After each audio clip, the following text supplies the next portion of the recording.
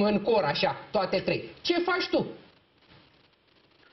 Uh, În afară, evident că în mod normal, în afara acestor declarații care la prima vedere pot părea complet gratuite, mie mi-ar plăcea dacă Guvernul României și onorabilul uh, premier Tudose Da. ar trece de la declarații, de la aceste declarații, care, repet, din punctul meu de vedere, sunt declarații cât se poate de firești, ar trece la următorul pas, domnilor, pentru că problema este în teritoriu. Problema este că Guvernul României refuză a abandona cele două județe în mâna UDMR-ului. Aici este problema. Sigur, așa în București se dau declarații, dar eu mă uit la fața locului. Ce se întâmplă la fața locului? Păi și mă uitându-te uit la fața fa- locului, uitându-te la fața locului, ți se pare că domnul Tudose și face ce spune sau doar are declarații de-astea de presă? Nu, categoric nu. Ah, Categoric nu. Ah, Categoric nu. Da, bun, mulțumim Asta tare mă mult, interesează. domnul Mulțumim. Dantă, să Îți mai spune am ceva, lămurit niște lucruri. uh, Radu. Da. Uh, De politică externă se ocupă președintele României, că e firez, nu? Are și ministrul afacerilor externe, domnul, Stolo, domnul Stoloșan, Da. domnul Meleșcanu, ceva atribuții în această zonă, că de e ministru de externe. Da. Dar avem și două comisii parlamentare, una în Senat, una în Camera Deputaților, care în momentul de față nu și ar trebui să facă ceva, că avem un conflict diplomatic, că l-avem. Este, Ambasadorul da, României la declarații, Budapesta a fost da. convocat la Maie Ungar. Am zis uh, reacția Ministerului Da, ai văzut ce a Ministrului răspuns uh, de ministrul externe. Da. de externe al Ungariei. Și eu spun, știi cine este președintele Comisiei de Politică Externă? Politică externă. Înțelegi cât de gravă e această comisie? Din Camera Deputației, cine e președintele acestei comisii? În mod sigur eu cu coană. Deci trebuie neapărat. doamnă. Păi noi ne reprezentăm în exterior Păi cumva. vreau să o cu... vedem pe această doamnă. Da. Am, noi am încercat să stabilim o legătură telefonică, da, dar noi am reușit, am încercat de fapt să stabilim o legătură telefonică cu doamna Rosalia Biro de la UDMR, care este președintele Comisiei pentru Politică Externă din Camera Deputaților. N-am reușit, dar altcineva a reușit să o contacteze telefonic și avem înregistrarea acestui dialog. Președintele Comisiei de Politică Externă din Camera Deputaților, În dialog cu cineva. în dialog cu un interlocutor pe măsură, nu știu, zic și eu, adecvat. Uh, Eu sunt uh, un uh, biped, adică o persoană care umblă sau stă în două picioare.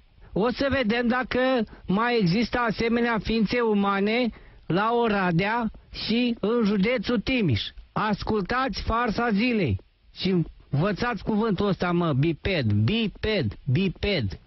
Primăria Aurelia Tășec, poftiți. Uh, Să rămână la doamna viceprimar, am sunat mai Bună devreme. ziua, de la Realitatea? Da, Ok, vă fac legătura cu doamna viceprimar. mulțumesc.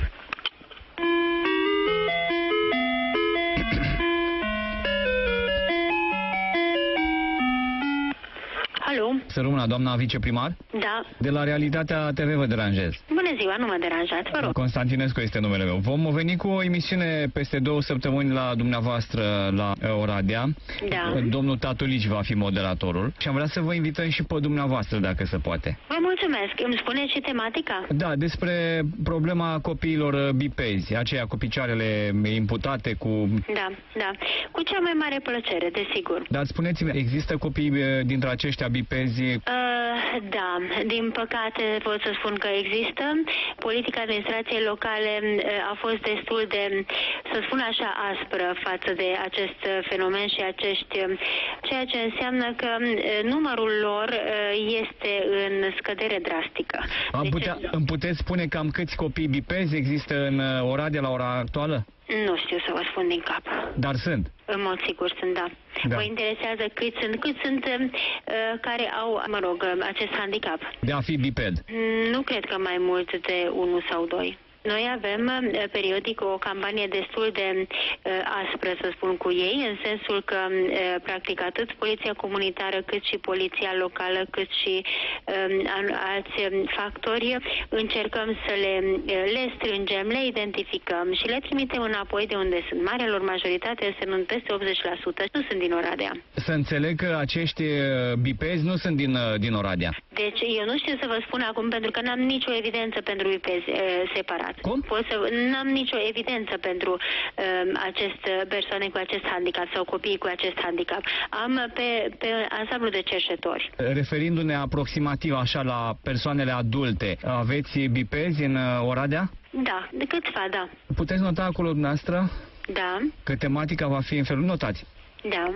Bipezii încotro. Mhm. Deci soarta bipezilor încotro. Asta Da. este tematica. Deci am notat bipezii încotro, acesta este tema. Cum? Bipezii încotro, acesta este tema. Da, în familie nu aveți bipezi.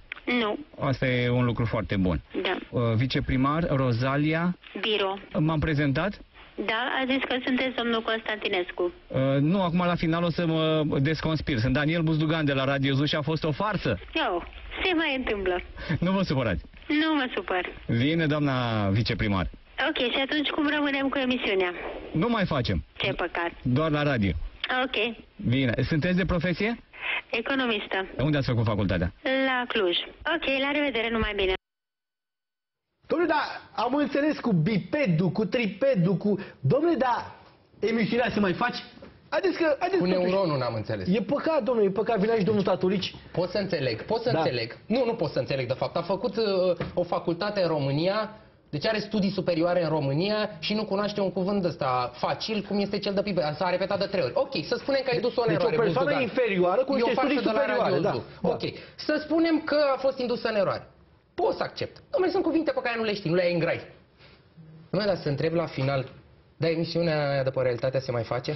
După ce spunem, a fost o farsă. Am înțeles, nu mă deranjează, dar emisiunea după realitatea se mai face? Și tu ești președintele Comisiei de Politică Externă? Președintele Comisiei de Politică Externă?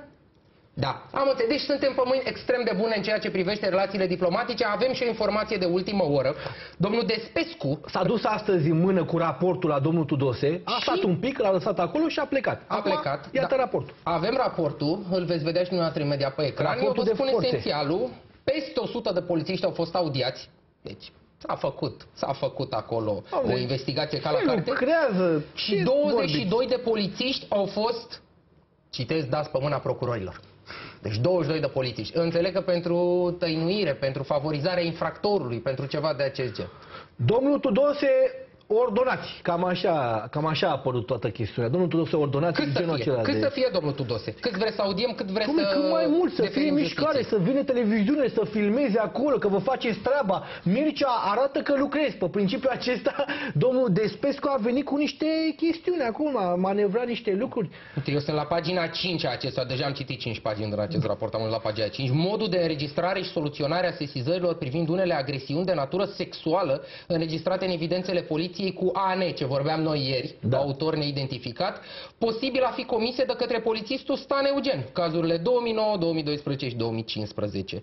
Și avem aici cazul 2009, la data de 2 uh, noiembrie 2009, în intervalul oral 12, 12 Ora- orar? 15, oral am zis. Da? Ora? Știu eu ce spun. Da? În timp ce se află în scara unui bloc situat în municipiul București, o persoană neidentificată a urmărit o minoră în vârstă de 14 ani și ar fi manifestat față de aceasta acte de natură sexuală. Ce-mi place să citesc Deci să mai partea zică finală. cineva că poliția română nu-și face datoria. Ascultați chestia asta. În cauză a Deci- fost întocmit dosarul penal numărul 4708 per P per 2012, număr acordat prin conexare cu cauza din 2012. Avem cazul 2012. La 22 octombrie 2012, în jurul orei 14 Jurul orei 14 e simplu, aici e mult mai uh, clar intervalul. O persoană de identificată ar fi urmărit o minoră în vârstă de 7 ani. Doamne, și poliția română, ca să În tragem timp o ce- concluzie. Deci ne povestește cum a emoționantă, agresat da. cineva, posibil domnul Poliția- Stan Eugen, cunoscut anterior drept pedofil, mai nou știm că e omnivor, nu Chiar ratează nimic. gerontofil de multe ori, că Ușor, am văzut ușor niște ajungeți imagini. pe gerontofilie. Da, ideea este, că, ideea este că poliția română lucrează pentru dumneavoastră, siguranță și încredere. Chiar nu aveți niciun motiv să vă faceți probleme. Iată, s-a făcut raportul, nu e nicio Hai să spun problemă. ce au făcut oamenii ăștia, că asta e cu adevărat interesant. Hai să spun ceva cu adevărat interesant. Deficiențe. Deci unde s-a mânărit, să spunem, instrumentarea dosarelor? Deficiențe. În zilele de zi... Nu, deficiențe. Că n-a fost o greșeală. A fost- Eficiență. A fost o eroare, nu o greșeală. Da. Eficiență, da, dar Da. în sensul greșit. Pe 6 și 7 ianuarie 2018, o ora 13.30, în sala, în sala de ședințe a brigăzii rutiere au avut loc instructajele efectivelor planificate în schimbul 2. În procesul verbal întocmit de către subcomisarul de poliție Bivolaru, Bivolaru, în data de 7 ianuarie 2018 a fost consemnat în mod eronat ca fiind prezent la activitatea respectivă și șeful brigăzii întrucât în realitate ofițerul nu a participat. Ei, și observăm aici cum multe documente aveau tot felul de informații complet desprinse de realitate. Deci oamenii aveau uh, liste de prezență fictive, Vorbeau despre oameni care n-au participat în anumite conjuncturi. Totul era practic făcut așa, din pix. Cam așa opera poliția română Da. când a venit vorba de aceste dosare. Eu sunt foarte curios, dincolo de cei 22 de polițiști trimiși acum la parchet. Da. Noi, pe oamenii ăștia cine verifica? Cine îi verifică pe cei care verifică? Că îți dai seama, ăsta e un caz care a bubuit, despre care vorbim noi de aproape o săptămână, că despre Da. care vorbește întreaga presă. Dar gândește-te că sunt crime cu autor necunoscut. Sunt violuri cu autor necunoscut. Nu o să putem crede că Eugen Stan le-a înfăptuit pe toate, că n-avea fizic timpul. Dar dacă așa s-a instrumentat și un alt dosar important, sau un dosar important al unei persoane pe care o cunoașteți dumneavoastră, asta cu siguranță și încredere poate ar trebui decolantată după mașina Da, puteți să aveți în continuare siguranță și încredere. Da, pe riscul dumneavoastră. Da, treaba voastră, e Da, problema riscul voastră până la urmă. Da, ideea este că apar în continuare lucruri uh, făcute de, de polițiști, adică eu nu cred că se vor opri aici. Eu cred că e un moment uh, festiv în care lucrurile încep să iasă la iveală și cred că vom afla despre multe alte scandaluri sexuale, cum este cel uh, de, al, uh, șe- uh, al rectorului de la, de la facultatea, de la Academia de Poliție, adică Da. eu zic că, eu zic că suntem pe drumul cel bun, adică se merge oarecum într-un, uh, se merge f- foarte, într-o dinamică cu, cu chestiunea aceasta. Ne întoarcem la, chesti- la problema în care ne aflam un pic mai devreme, domnule centenar. România este în momentul centenarului. Când aflați despre aceste știri cu polițiști violatori, cu nu știu, să ne aducem aminte că se împlinesc 100 de ani de România. Totuși trebuie să mergem și într-o zonă festivă. Iar guvernul României uh, Nu mulțumit acestor oameni. nu, în niciun caz, mulțumit. n-au niciun fel de legătură. Acordă foarte multă atenție acestei chestiuni cu centenarul și cu foarte multă considerație și respect se apre- apleacă. De aceea a fost numit noul șef al departamentului centenar. E important. Să-i punem așa o egidă, să-i dăm un nume simbolic, să zicem așa, domnul Paul Claudiu Cotârleț. O să vedeți numele... Întâmplător e și numele sau din acte. Adică Nu, întâmplător și nu, nu numai. Aveți e, și numele lui, și o Co- poză. lui Cotârleț, îl aveți și scris pe un banner acolo. Pentru cei care, da, pentru cei care n-au auzit și pot vedea acolo scris, domnule, a venit cineva, într-adevăr e branduit cu siga PSD-ului, ceea ce e foarte important.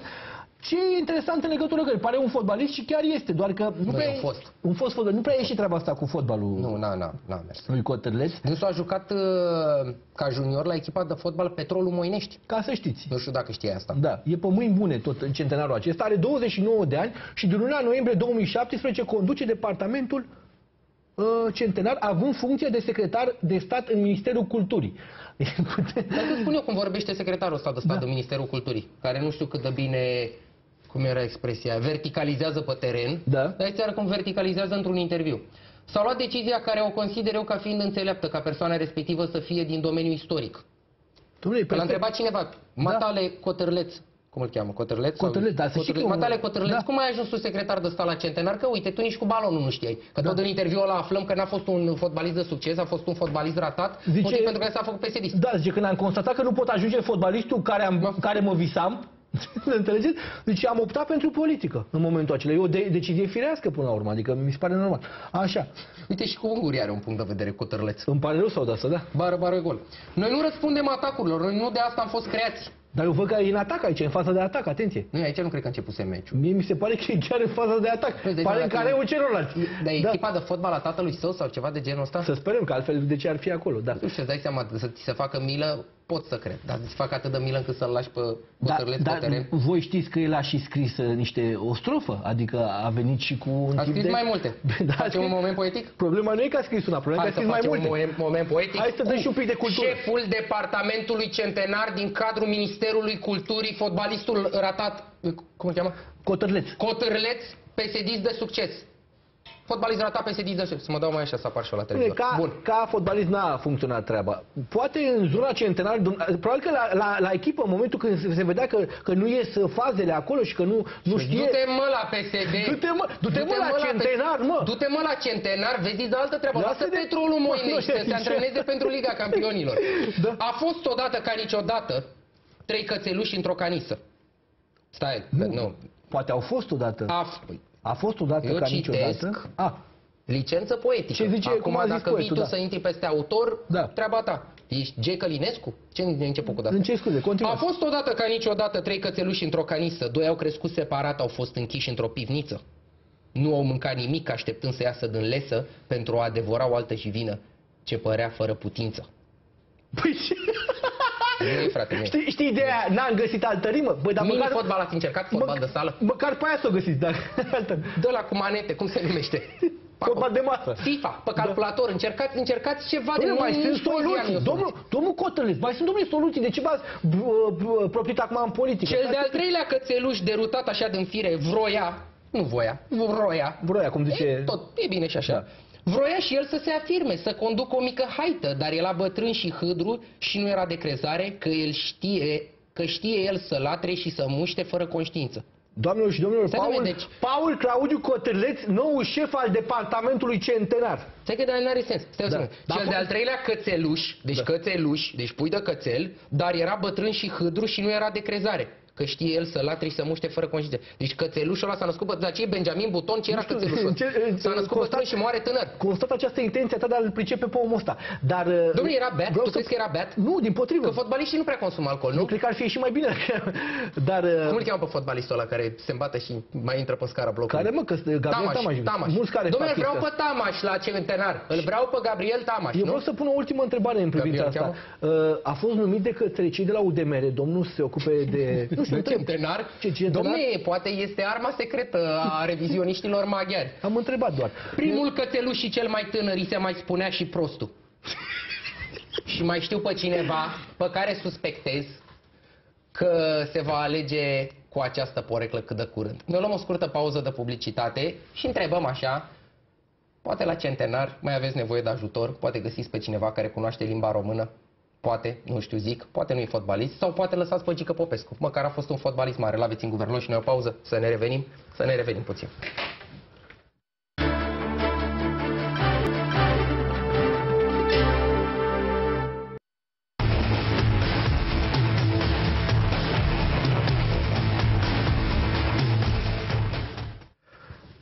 Da, bună România, ne-am întors în direct că avem probleme cu românii din țară, din incintă, ca să zicem așa, e una, dar probleme mari sunt și cu românii din Spania. După cum probabil ați auzit zilele acestea, a fost și o, mă rog, o situație extrem de tensionată, un linșaj al românilor din Spania, uh, niște etnici de, hai să zicem așa, de etnie irrelevantă, niște oameni de etnie irrelevantă, ca să În zicem. presă scrie că Da. e vorba de niște minoritari, acum unguri am înțeles că nu sunt. Unguri nu sunt, ce au făcut oamenii ăștia? Au, uh, S-au supărat. au supărat acolo. Au supărat acolo Au foarte supărat o mult. localitate, orașul Petre... Pet, uh, unde mă? Petrera, uh, e pe lângă Sevilla. Așa, iată ce au făcut oamenii. Aceștia au deranjat comunitatea respectivă. Problema nu e că au deranjat comunitatea, problema e că a reacționat și primarul în sensul acesta. Primarul localității a zis așa, domnule, aș omorâ toți românii. Bun. A, a zis de la obraz Totul lucrul. a pornit de la un accident rutier. Totul, totul a pornit de la un accident rutier. A fost un accident rutier, după care spaniolii s-au enervat atât de tare, că știi că nici italienii nu ne prea iubesc în ultima vreme, Da. da. încât au ajuns să vandalizeze mașinile românilor. Românilor. Au vandalizat mașinile române, nu au mai făcut niciun fel de discriminare și a ieșit primarul de acolo, cum foarte bine ai punctat și tu, și a spus, domne, să lăsăm justiția să-și facă treaba cu statul de drept, chestiuni de acest gen, Dar, dar, dacă mă întrebați pe mine, i-aș împușca. Un fel de Rădulescu. Un fel de Rădulescu cu, cu protestatarii și era primarul da. din Padrera cu, cu românii. E, înțeleg că guvernul României, nu știu, n-a fost foarte încântat de această situație și l-avem pe telefon pe Victor Ionescu, subsecretar de stat în guvernul României. Bună seara! Bună seara! Pe care o să rugăm să ne spună dacă am trimis și noi niște oameni la fața locului din executivul pe care îl avem și ce fac oamenii aceștia. Bună seara și în primul rând vă mulțumesc pentru oportunitatea de a discuta. Cu siguranță Ministerul pentru Românii de Pretutindeni s-a organizat, a activat celula pe care o are și uh, o pune la dispoziție întotdeauna când există probleme ale românilor din diaspora. Avem doi colegi de la Ministerul pentru Românii de Pretutindeni care s-au deplasat acolo și care împreună cu uh, misiunea noastră la Madrid și Consulatul General de la Sevilla au luat legătura cu autoritățile din Spania și analizează în teren exact ceea ce s-a întâmplat. Bun, analizează, au luat legătura cu autoritățile din Spania, dar omul ăsta a zis o chestiune terifiantă. Zic, domn, zice, domnule, aș omorâ toți românii. Confirmați această declarație pe care o avem? Uh, Eu nu am auzit-o exact, însă dacă este adevărat, este condamnabil evident și ar trebui ca partidul din care face parte acest uh, ales să-i ceară să-și dea demisia și, în ultimul rând, ar trebui să-și ceară scuze în fața românilor, pentru că comunitatea de români din Spania face cinste de foarte multe ori. Bun, asta ne spuneți noastră nu. Acum, Noi suntem de acord în punctul ăsta de vedere. Bătezi da? la uși deschise. Acum, Da, da. Trebuie să comunicat în partea elaltă. Asta e ideea. Da. S-a comunicat în partea elaltă. Am am avut o reacție diplomatică la așa o declarație? Uh, Noi suntem prezenți acolo în teren cu acești uh, doi colegi ai noștri. Unul este expert, chiar uh, fost consul în Spania, Andrei Luca, uh, și cu siguranță toate lucrurile astea vor fi transmise și când vom avea exact un, de, un raport detaliat vom, vom, Bine. vom publica. Problema e în felul următor. Am înțeles că oamenii au început deja să se organizeze proteste împotriva românilor. 200 de spanioli au ieșit în stradă. Și cum ies românii împotriva legilor justiției, Radu? Așa au ieșit spaniolii împotriva românilor în stradă. 200 de protestatari antiromâni au fost pe acolo. Și ca să vă dau citatul exact din primarul din Padrera, spune în felul următor. Domnule, de ei, de români, să se ocupe judecătorii, nu noi. Cine încalcă legea trebuie să vadă cum se aplică legea. Mie mi-ar plăcea să văd niște oameni împușcați. Bun, eu cred că legea trebuie aplicată indiferent uh, unde se situează și cei care comit anumite, eu știu, sau au niște probleme, trebuie să fie sancționați. Pe de altă parte, nu putem să acceptăm acest limbaj uh, vis-a-vis de comunitatea de români, pentru că, așa cum spuneam, românii noștri de, de acolo, dar și în general din Spania, uh, Da. de multe ori. fac Da, avem și bune români primari în acolo. Spania. Apropo, chiar asta există și informația asta. E foarte bine. Domnule Bine. Ionescu, vă mulțumim mult pentru intervenție. Hai să vedem ce face celula de criză. Noi am mai avut o celulă de criză la un moment dat când a trebuit să ne luăm niște români înapoi, dacă ți amintești. Da. Unii răpiți. Noi avem uh, tot timpul o criză și întotdeauna trebuie să asociem la criză o celulă. Acum dar, uh, românii din Spania nu sunt răpiți, din potrivă, ni ar trimite acasă fără niciun fel de problemă. Adică. Dar eu mă întorc către Rădulescu ăsta al nostru, care așa cum trag ăștia pe acolo, pe noi, așa trage și el într-un fel. A început să tragă iară domnul Rădulescu cu mitraliera. A început să tragă cu mitraliera și a mitraliat un pic gramatica limbii române. A avut o reacție asupra la această situație tensionată din PSD. S-a poziționat toată cu această reacție de partea domnului Dragnea și putem vedea că a început să tragă la foc automat cu virgule, adică n-a avut nicio milă față de limba română. Dom'le, a, dat- a tras cu virgule de toți banii. Adică nu s-a zgârcit la virgule, dar consilierul doamnei uh, Carmen Danții s-a părut mai... uh, Niciodată. m- Mai puțin risipitor de virgule. Dânsul punea și între subiect și predicat. Acum postarea domnului Rădulescu, ți-o spun cu toată sinceritatea, n-am citit-o. Bravo, Nu știu virgulă, de ce a Carmen citit Dan, cineva. virgulă, șahmat, uh, ce membru vechi, virgulă, al partidului meu, pe, uh, virgulă, PSD, adică ș- știi cum e și un ceas, un ceas stricat arată măcar de, de două ori uh, uh, bine ora, nu, uneori le mai, pe, pe zi, uneori le mai potrivește, adică uneori virgulele pare a mai avea un sens acolo, în fine.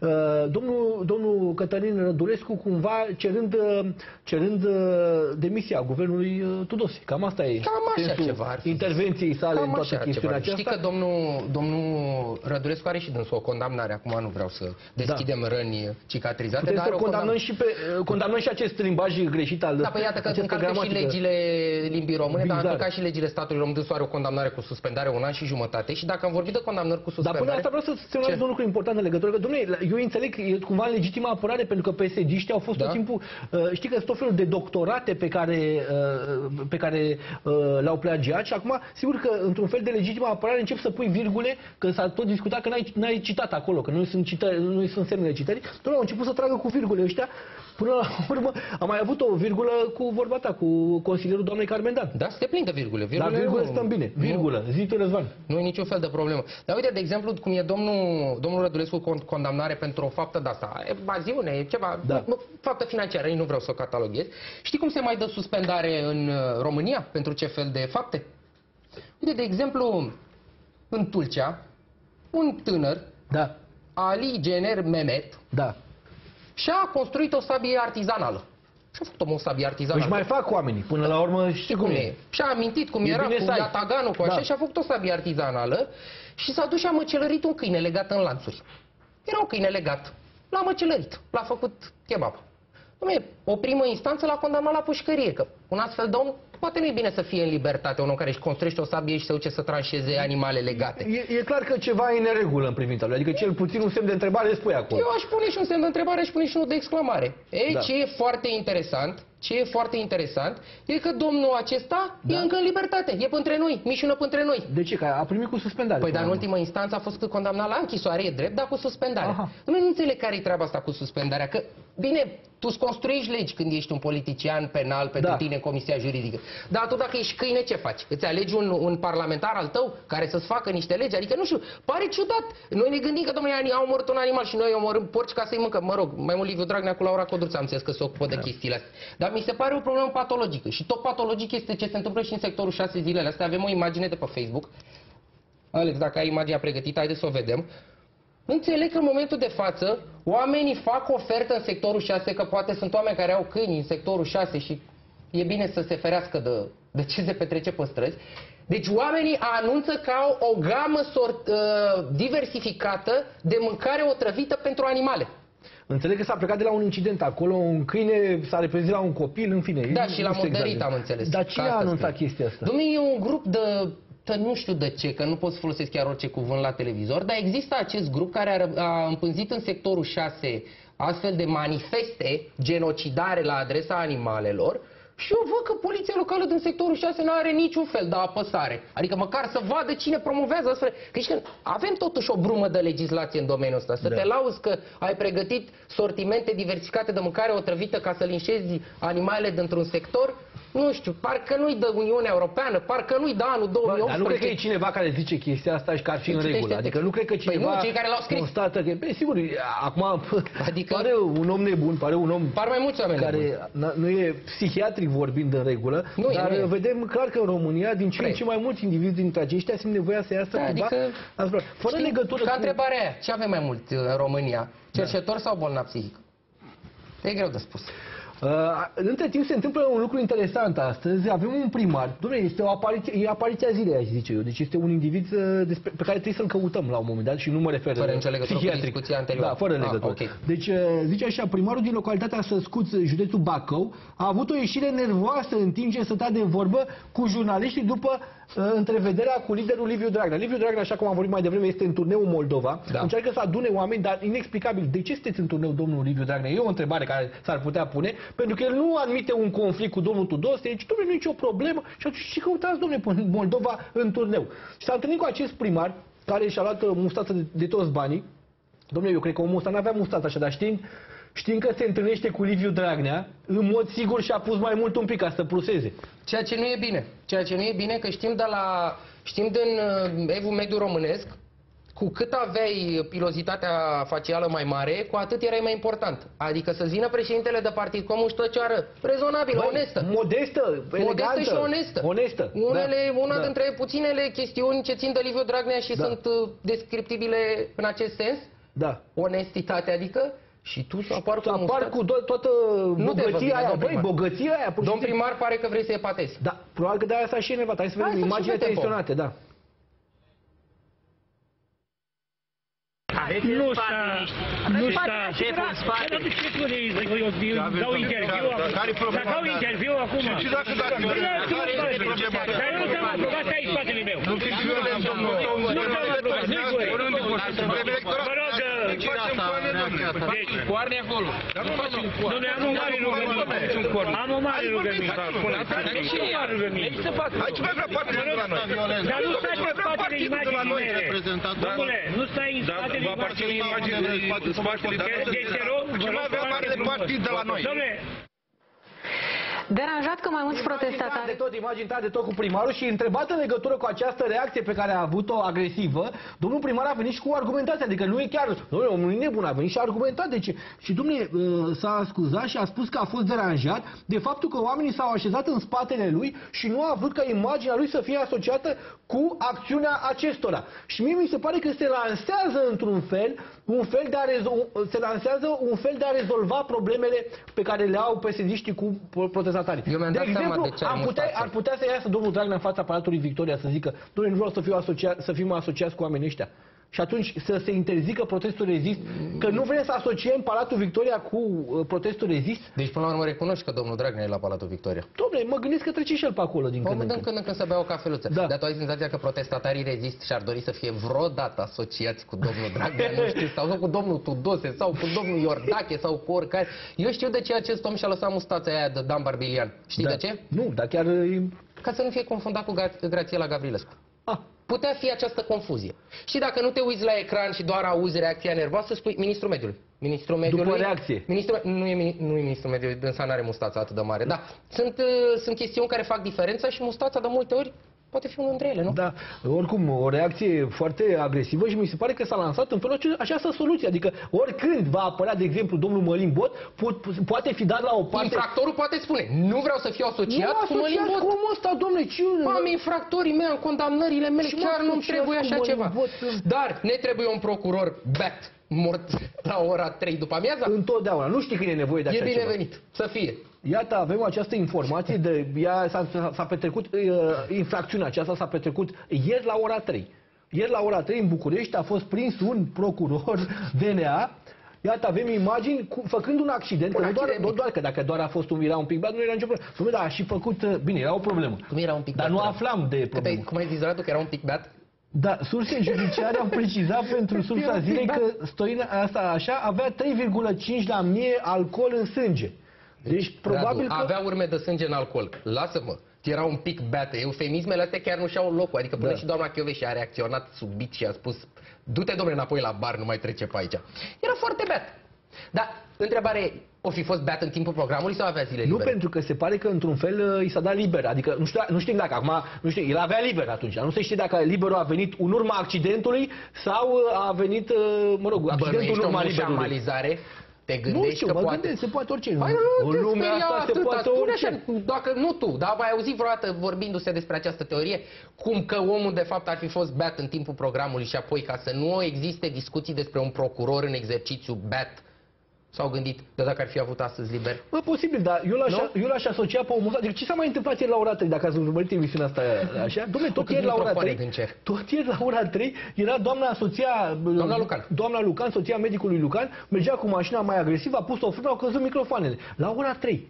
Ieri la ora 3, bănuiesc că tot în București, că înțeleg mașina Mie la avea ora număr de- 3 ieri ce făceam? Că acum stau și mă gândesc. Ce făceați la ora 3? Ce a fost ieri la ora 3? Că Ce l-au s-a prins întâmplat ieri la ora pe ăsta 3 cu mă accidentul. interesează. Dar nu fi fost în aceeași idee, o fi frânat, o fi fost implicată și doamna în aceeași eveniment? Poate procurorul DNA a tamponat mașina doamnei Lucan și au căzut și deci l-au dat afară, nu pentru că era beat, ci pentru că a stricat operațiunea de ICOT. E posibil să fi fost sincronizate, că prea s-au întâmplat ambele la ora, la ora 3. Poza zilei și poza săptămânii, nu am Să zis poza reabilităm zilei. imaginea. Îmi cer scuze, vreau să Cred că e reabilităm. poza ultimelor două decenii, că e o imagine Da. extrem de veche, dar Pentru- foarte relevantă. Pentru că multă lume spune că poliția română nu lucrează.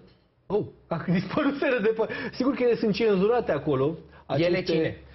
Aceste, instrumente. Aceste instrumente. Te las pe tine, Răzvan, să explici uh, Nu, ce nu, se întâmplă pe cer biroul scuze domnului că te-am uh, întrerupt. polițist. Eu nu pot spune decât că e vorba despre un șef al poliției, împreună cu subordonații domniei sale, Având în față niște instrumente de, lucru. Destructurând, nu că mai pot să lungesc puțin Da? da? prezentarea până te las pe tine să spui ce au oamenii aia pe masă. Sigur. Destructurând o rețea de tinere care, acum să fiu sincer, nu înțeleg ce făceau, dar înțeleg că fă, ce făceau, făceau cu, cu captura respectivă. Da.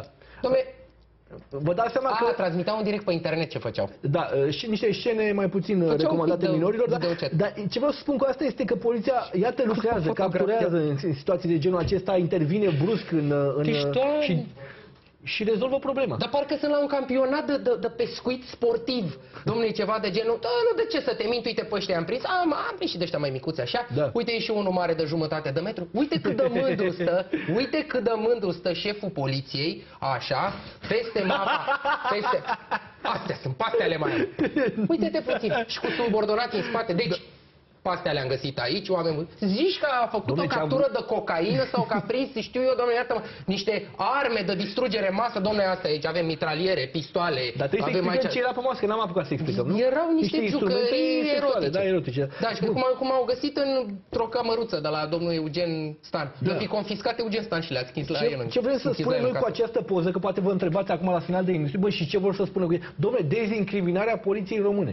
Asta am vrut să facem într-un final, într-o s- săptămână extrem de tensionată sexual pentru poliția română, însă să dezincriminăm, să venim totuși și cu această poză care să vină în echilibru, să arătăm că poliția română nu e ceea ce, nu e ceea ce pare. Știri cu George Asimionovici la B1 TV. Urmează în continuare și vă invităm să le urmăriți. Pe noi ne urmăriți abia luni? luni. De nu? luni? Luni. În weekend La nu.